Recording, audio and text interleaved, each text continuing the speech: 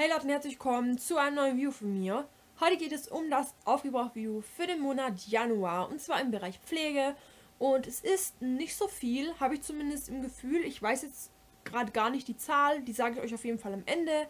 Aber jetzt würde ich einfach sagen, ich starte direkt mit dem Video und ich starte wie immer mit unspektakulären Sachen, wünsche euch viel Spaß und los geht's. Das erste, was ich euch zeigen möchte, ist von Brocudent die Ultra Soft Zahnbürste. Ich hatte keine mehr von der M hier, deswegen habe ich jetzt die benutzt und ja, die ist okay. Ich mag aber die von der M irgendwie lieber. Ich finde, da ist der Kopf ein bisschen kleiner. Aber die kann man auf jeden Fall im Notfall auch mal kaufen. Dann habe ich meine festen Seifen einmal ausgewechselt. Und zwar einmal habe ich hier die The Body Shop Mango Seife jetzt im Bad in Benutzung. Da war vorher die Shea von The Body Shop, aber die ist jetzt mittlerweile so klein und schon richtig, ja, so schmierig. Deswegen habe ich die jetzt weggeschmissen. Ist aber wirklich nur noch ein kleines Stück gewesen und habe jetzt eben diese hier in Benutzung. Die ist nicht schlecht, die hat einen sehr, sehr schönen fruchtigen Mangoduft. Die ist ähm, jetzt nicht so cremig wie die Shea-Seife. Die Shea-Seife war cremig. Die hier ist halt so, ja, durchsichtig quasi, orange. Finde ich gut.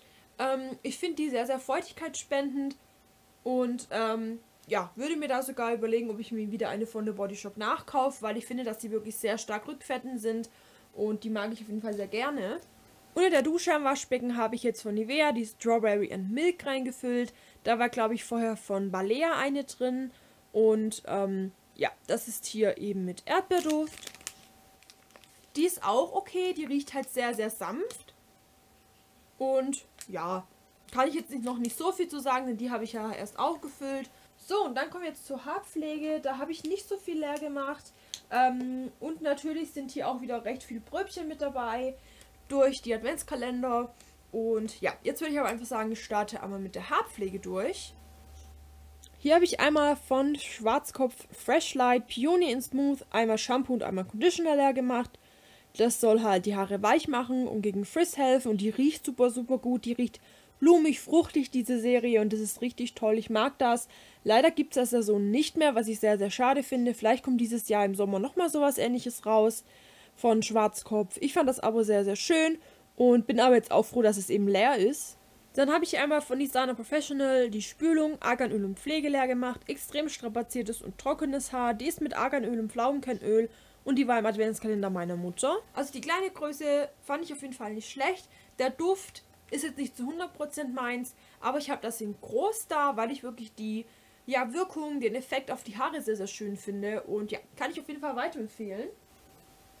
Und dann habe ich hier einmal von Sios Renew 7 Complete Repair das Shampoo leer gemacht. Ja, war okay. War okay, es hat die Haare sauber gemacht, aber es hatte für mich jetzt keinen sonderlichen Effekt, deswegen würde ich es mir auch nicht nachkaufen. Und einmal von Dove Intensive Repair Shampoo war auch nicht so meins. Würde ich mir auch nicht nachkaufen. Ich mag zu einem den Darfduft nicht so gern. Ähm, und ich fand den Effekt auch nicht so toll, muss ich ehrlich sein. Also würde ich mir nicht nachkaufen. Dann habe ich hier einmal eine Haarkur leer gemacht und zwar von Garnier Wahre Schätze die 3 in 1 nährende Tiefenpflegemaske und zwar Kokosmilch und Macadamia. Ich bin hier recht froh, dass die jetzt leer ist, einfach weil die schon recht alt ist und ich Angst hatte, dass sie jetzt kippt. Ich habe die jetzt wieder da, weil die liebe Lena mir das in dem Weihnachtspaket zugeschickt hat mit Shampoo und Spülung und Haarkur. Da werde ich mich auf jeden Fall ransetzen, dass ich das schneller leer bekomme wie diesen Tiegel, aber ich mag die im Allgemeinen sehr, sehr gern. Also die sind wirklich schön für die Haare, man braucht nicht viel Produkt, die riechen alle toll, finde ich klasse. Dann kommen wir zur Gesichtspflege. Das sind es zwei Sachen geworden. Und zwar einmal Waschgel und Augen-Make-up-Entferner 2 in 1 und einmal das erfrischende Waschgel für normale Mischhaut, eben aus dem Adventskalender auch. Und ja, ich finde die beide gut. Ich glaube, dieses Liderne hier ist dieses Micellenwaschgel von Balea in der pinken Verpackung mit Grapefruit. Und das erfrischende Waschgel ist das blaue aus dem Standardsortiment. Also so hat es für mich zumindest gerochen. Und so hat es sich für mich auch auf der Haut verhalten. Zwei Lippenpflegestifte sind tatsächlich auch leer gegangen und da bin ich auch echt froh drum, denn die hat sich jetzt eine ganze Weile einmal am Waschbecken stehen und einmal in der Handtasche. Und zwar stand am Waschbecken von Balea die Variante Sweet Lips. Die war echt toll. Ich mochte den Geschmack super gern. Das war, glaube ich, mit Himbeer und Kirsche. Es war sehr, sehr süß. Es hat mir aber super, super gut gefallen. Es war jetzt nicht super duper reichhaltig, aber es hat auf jeden Fall die Lippen ein bisschen gepflegt fürs Waschbecken auf jeden Fall komplett ausreichend. Und dann hatte ich einmal hier den Crazy Coco in der Handtasche, den fand ich auch sehr schön, der hat gut gerochen. Der hat auch die Lippen so ganz leicht weich gemacht und ja, wenn es die noch geben sollte, würde ich mir beide nachkaufen. Ich glaube aber, dass es beide nicht mehr im Sortiment gibt. Dann habe ich auch zwei Handcremes leer gemacht. Davon ist eine auch ähm, eine Probiergröße gewesen. Und zwar einmal von Yves Rocher Golden Tea, die Handcreme. Die war okay. Hier waren 30 Milter drin. Und ich fand die roch so ein bisschen kräuterig. Ich habe die ganz gerne benutzt. Sie war angenehm. Pflegewirkung war jetzt nicht stark. Also ich habe momentan sehr, sehr trockene Hände und ähm, da hat die jetzt nicht viel geholfen, aber der Duft war eben ganz angenehm. Und für zwischendurch war die auch okay. Und dann habe ich hier noch von The Body Shop Pink Grapefruit die Handcreme leer gemacht. Ich denke, nächsten Monat geht die Vanilla Chai leer, die ich mir Anfang 2018 im Sale gekauft habe. Aber ich habe mich jetzt erstmal an die noch rangemacht, weil ich die eben doppelt hier habe.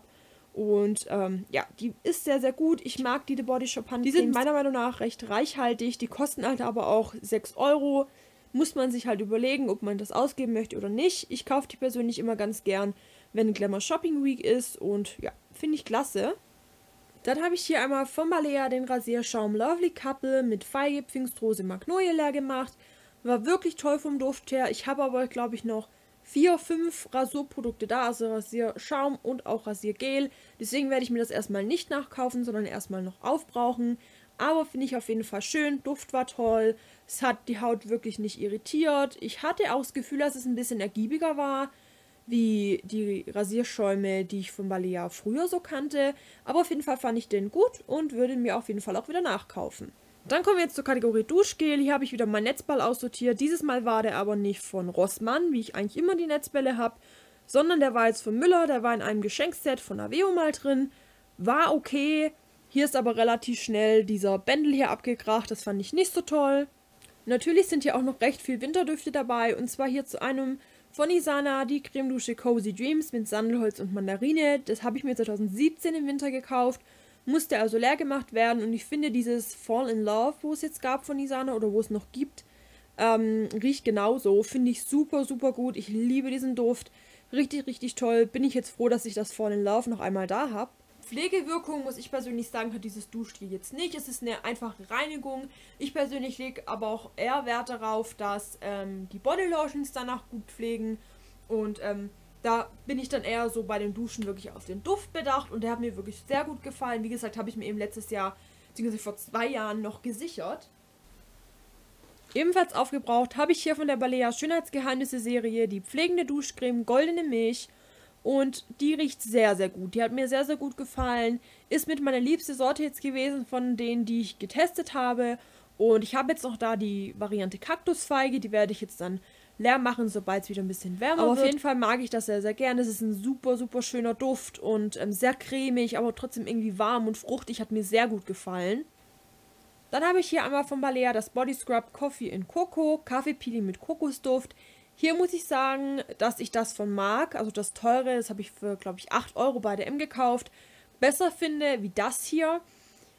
Aber ähm, es ist natürlich auch um einiges teurer. Aber trotzdem würde ich tatsächlich eher zum teuren tendieren. In dem Fall, weil ich das wirklich, wirklich besser fand, wie das hier. Der Duft ist tatsächlich recht gleich. Ich würde sogar sagen, dass das von Balea ein Ticken stärker nach Kokos riecht, also ein Ticken parfümierter einfach ist. Hier ist es halt so, dass ähm, man wirklich diese Zuckerkristalle in diesem Peeling sieht. Also das ist wirklich einfach trockenes Peeling. Das von Mark ist so ein bisschen feucht noch. Da sind halt auch sehr, sehr viel Öle mit drin. Und ich habe auch wirklich das Gefühl, dass es die Haut so ein bisschen besser pflegt. Deswegen würde ich jetzt die von Balea nicht nachkaufen. Ich habe jetzt noch das mit Mandel da. Das werde ich natürlich noch leer machen. Aber ähm, nachkaufen würde ich es Aber wenn ihr nur einen kleinen Geldbeutel habt, dann könnt ihr euch das auf jeden Fall auch anschauen. Dann habe ich hier von Balea aus dem Adventskalender einmal die Cremedusche mit Vanille-Honigduft. Die war Dann okay. habe ich hier von Alverde die Pflegedusche Bio-Minze und Bio-Bergamotte noch leer gemacht ja, das war ein sehr, sehr frischer Duft. Habe ich einmal zum Duschen benutzt und den Rest dann als Badezusatz, weil der Duft mir nicht so zugesagt hat. Es war halt sehr Naturkosmetik, lastig vom Duft her. Ähm, ja, aber war auf jeden Fall nicht schlecht. Dann habe ich hier einmal noch teure Duschen leer gemacht und zwar zu einem von Dresdner Sense, Ruhe in Wohlbefinden Dusche. War limitiert, habe ich mir 2017 im Winter gekauft. mag ich echt gern. Also der Duft ist wirklich sehr, sehr schön. Es riecht wirklich schön nach Macadamia, sehr intensiv und mochte ich wirklich gerne. Ich habe jetzt erstmal noch genug Winterdüfte da und ich werde mir das aber, wenn es Ende des Jahres das geben sollte, würde ich mir das auch wieder kaufen. Dann habe ich hier einmal von Fa Coconut Milk die Duschcreme leer gemacht. Habt ihr vielleicht letzten Monat meiner Duschgesammlung gesehen? Ähm, da war sie schon recht gut leer. Ich habe sie jetzt, glaube ich, noch einmal zum Duschen benutzt und dann eben als Fußbad auch wieder so ein bisschen für den Schaum. Sehr, sehr schöner Duft, sehr gute Pflege. Ich liebe die Farbprodukte und ja, kann ich auf jeden Fall auch weiterempfehlen.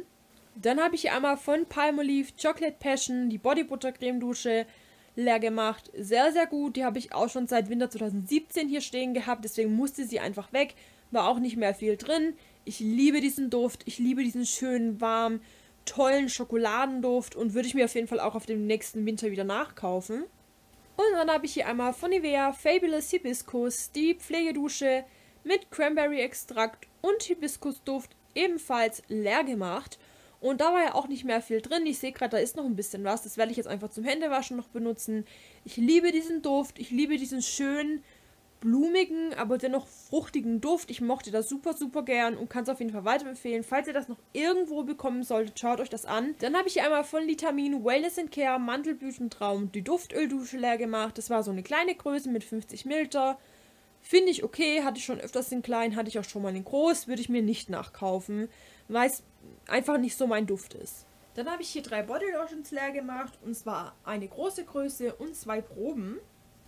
Und zwar einmal von Aveo, die Arganöl Body Lotion, die habe ich jetzt tatsächlich unter der Dusche als Inush Body Lotion benutzt, denn die hat mir so nicht so gut gefallen. Die war nicht so, wie ich sie mir vorgestellt hatte. Ich habe halt gehofft, dass die so ist wie die von Balea, also sehr ölig, sehr pflegend, sehr reichhaltig. Das war halt nicht der Fall, deswegen habe ich die jetzt unter der Dusche benutzt, einfach damit sie leer ist. Dann einmal von Neutrogena so eine kleine Probe und zwar ist das die Deep Moisture Body Lotion gewesen. Fand ich sehr, sehr gut. Würde ich mir tatsächlich auch in groß kaufen, aber die ist ja recht teuer. Ja, und ich habe noch so viel Zeug da, deswegen will ich erstmal ein paar Sachen leer machen, bevor ich mir die in groß kaufe, weil das ist einfach so ein schöner, neutraler, ja, Duft, der aber trotzdem irgendwie anders ist und wo recht gut pflegt. Also ich finde wirklich, dass die, für das ist es halt eben eine Body Lotion ist und keine Body Butter, finde ich schon, dass die Pflege wirklich gut ist. Dann habe ich hier von Isana die Body Milk Olive mit Olivenöl, reichhaltige Pflege für trockene Haut. Hatte ich auch im Adventskalender meiner Mutter drin. Finde ich wirklich nicht schlecht, hatte ich auch schon öfters, würde ich mir tatsächlich auch mal den Groß kaufen, aber wie gesagt, ich muss erstmal einiges leer machen. So, dann mache ich weiter mit der Fußpflege und da habe ich vier Produkte leer gemacht und zu einem von Balea das Fuß- und Schuhdeo in Lovely mit Minzöl und Blutorangenextrakt. Das gibt es ja so leider nicht mehr.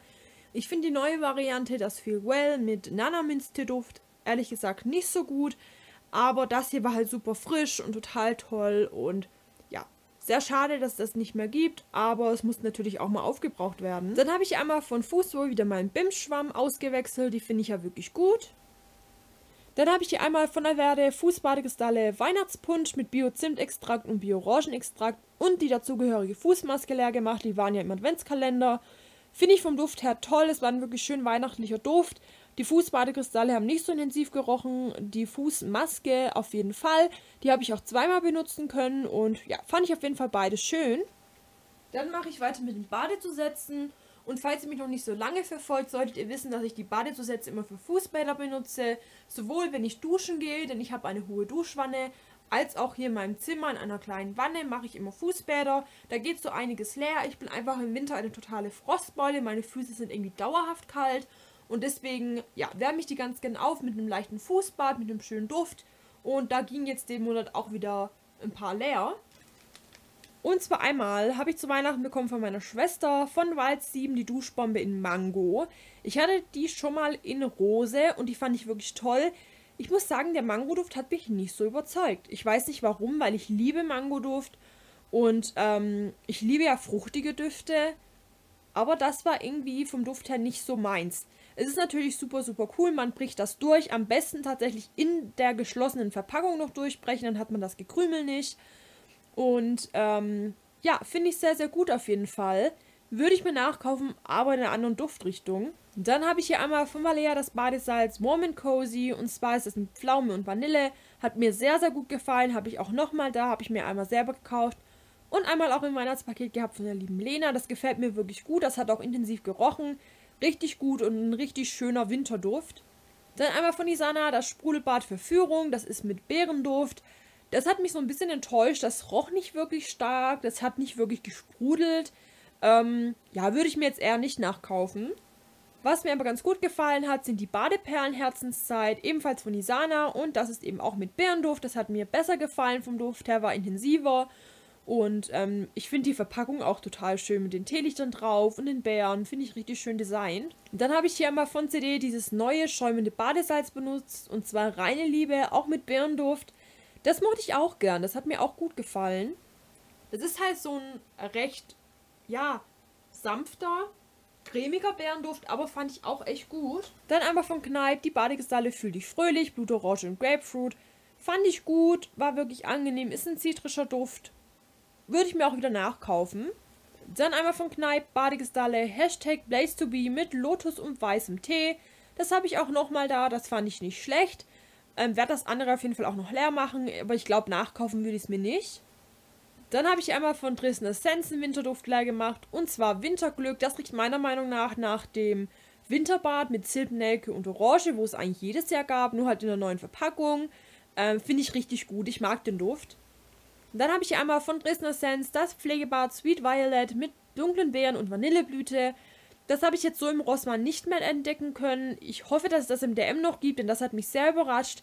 Denn die Pflegedusche hat leider nicht intensiv gerochen, aber das Pflegebad war richtig, richtig gut. Sehr intensiver Duft, sehr, sehr schöne Farbe. Würde ich mir, wie gesagt, nachkaufen.